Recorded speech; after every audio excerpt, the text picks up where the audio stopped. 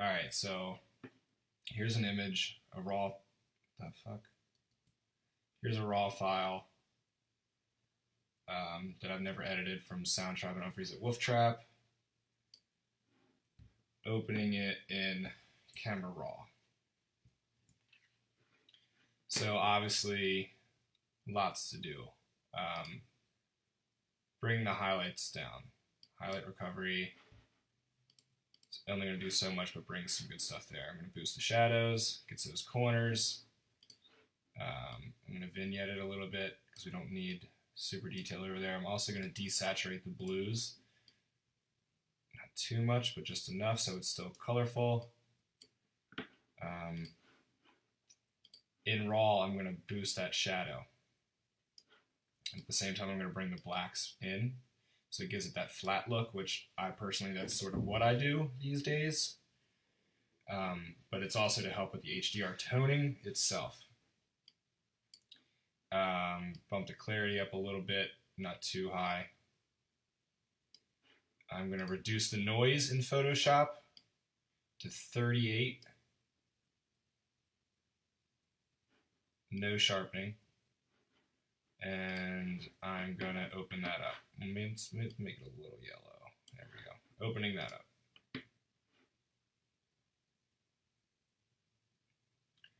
So here we have a semi-edited, globally edited, nothing in particular has been edited.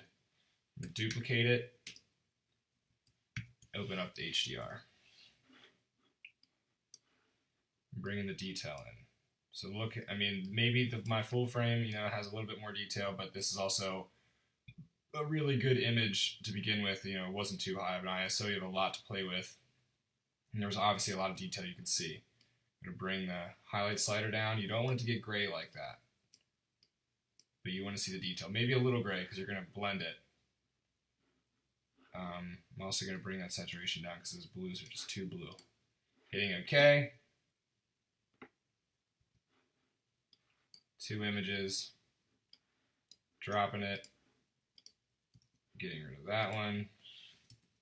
You can see I'm using a lot of keyboard shortcuts. It really speeds up your uh, stuff here. So that's the beginner. That's the HDR. 66% looks pretty good to me. Still a big difference, but seems realistic. It's not cartoony at all. Um, what I'm seeing right off the bat though is we got some weird lines. We got this is off.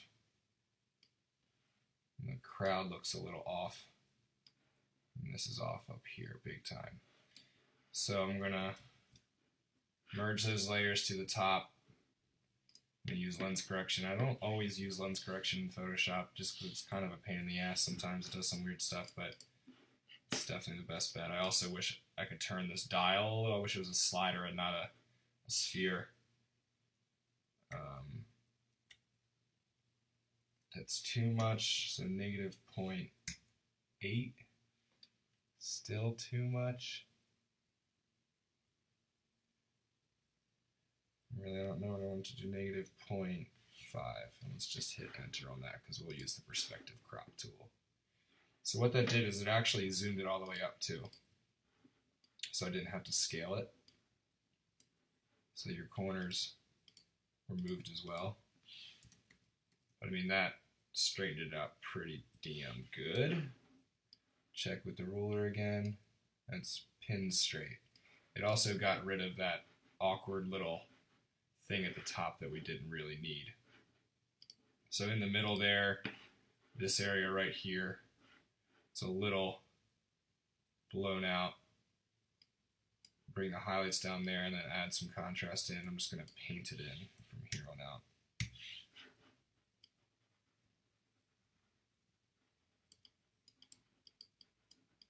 Painting, painting, painting, painting. Painting, painting. Yeah, looks pretty damn good to me.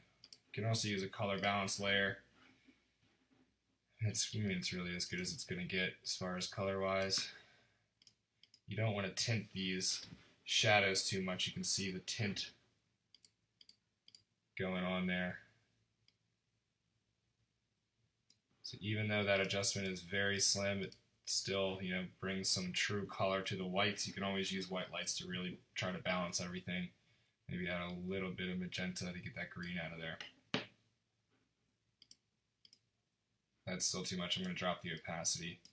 That helps blend it with the original color. So very little of a difference, but enough of a difference that I like it. Obviously, editing and what you want out of your picture is always going to be personal preference.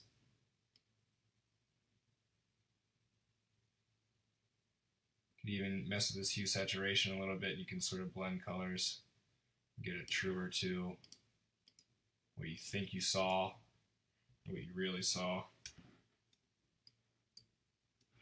You know, kind of maybe tweak it and add some purple at the bottom there. And I'm going to use one more levels layer for the top. I'm going to use that gradient filter again. There. So it still has that flat look, flat sort of matte paper look that I prefer. Oops, there we go. And that's the final image. It's pretty spot on clear here. One more thing that you can do, merge all those layers again. Merge all the layers is in uh, layer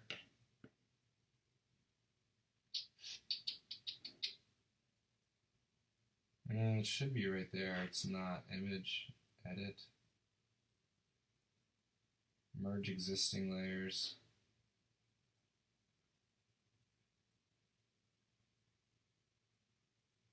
The keyword shortcut I'm using to do that is Shift Option Command E all at once. So what I want to show you is sharpening, which sometimes can help. Sometimes it's way too much. You don't really need to do it. But this case, I think there's enough detail to sharpen. I like unsharpen mask. So I'm really looking at him here. He's the the most in focus part of this photo. It's a little halo-y. You can see how it's adding these shadows kind of around, and that's going to be a radius thing. So you bring the radius down a little lower, you can bring the, the percentage up. I'm happy with that there. Let's bring it out to 100%. That looks super clear, almost too clear. So I'm just going to hit OK because I'm happy with how that looks right here. Looks a little weird down in here, a little over sharp. See the difference. But I'm going to leave it. I think it looks great. So, I mean, that's a final image. I'm going to flatten it because I don't need the layers. I'm not coming back to it. I'm going to hit save. I save them as a PSD, keeps the highest quality for printing or publication or whatever. hit save. Let me go back to the bridge. It's going to pop up here. So that is this a little bit bigger for you. So that is the edited raw. That is the edited PSD. And that is the original. Original, edited raw, PSD. Those three together. Big difference. Looks great over here. Still a great photo, better photo, the best photo.